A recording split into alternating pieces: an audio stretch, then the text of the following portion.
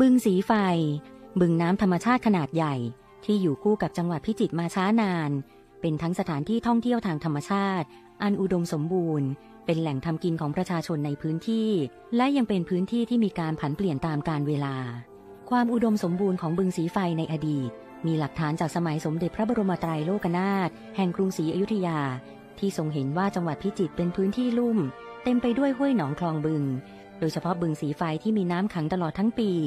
จึงทรงเรียกเมืองพิจิตรว่า โอคาบุรี ที่แปลว่าห่วงน้ำ อาณาบริเวณของบึงสีไฟครอบคลุมพื้นที่ 12,000 ไร่ ปัจจุบันมีพื้นที่ 5,390 ไร่ จัดเป็นบึงที่มีขนาดใหญ่เป็นอันดับ 3 ของประเทศ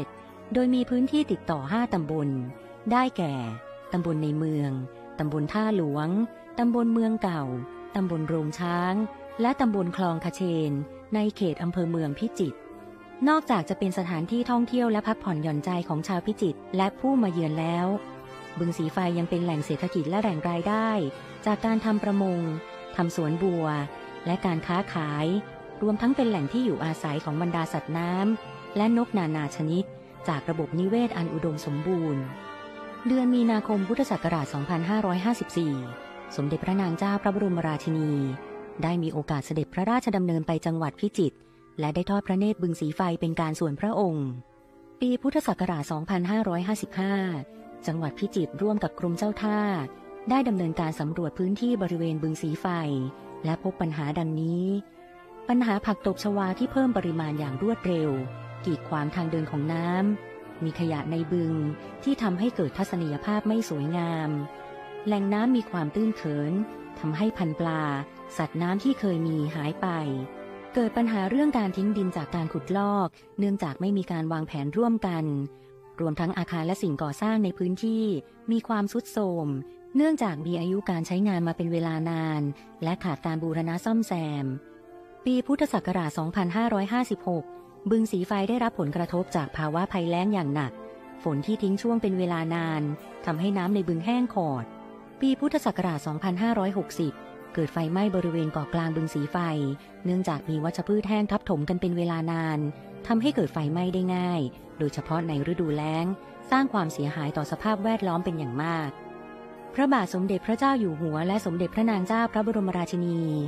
ทรงมีพระบรมราโชบาย ในการพัฒนาแม่น้ำลำคลอง และแหล่งน้ำในพื้นที่ที่ประชาชนได้รับความเดือดร้อนทั่วประเทศ เริ่มจากโครงการพัฒนาแหล่งน้ำนำร่อง คือโครงการพัฒนาคลองเปรมประชากร ในพื้นที่กรุงเทพมหานคร จังหวัดปทุมธานี และจังหวัดพระนครศรีอยุธยา โครงการขุดท่อลอดถนนวิภาวดีรังสิตเพื่อลดปัญหาน้ำท่วมบนถนนวิภาวดีรังสิตและโครงการพัฒนาคลองแม่ขาที่จังหวัดเชียงใหม่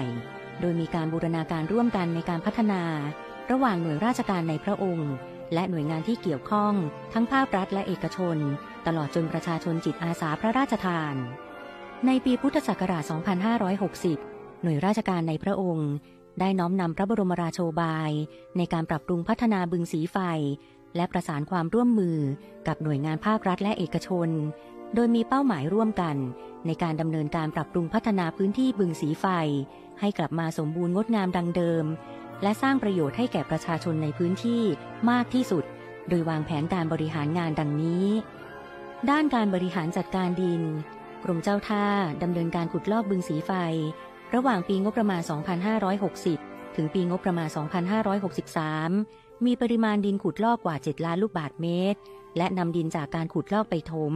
ทำเป็นคันดินกั้นน้ำเพื่อเก็บกักน้ำไว้ใช้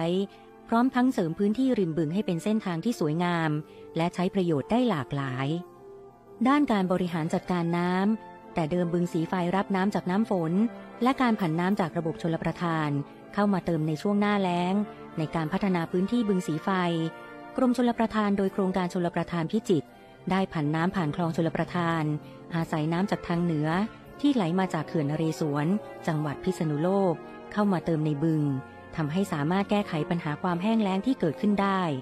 โดยภายหลังการขุดลอก บึงสีไฟสามารถเก็บกักน้ำได้กว่า 12 ล้านลูกบาศก์เมตร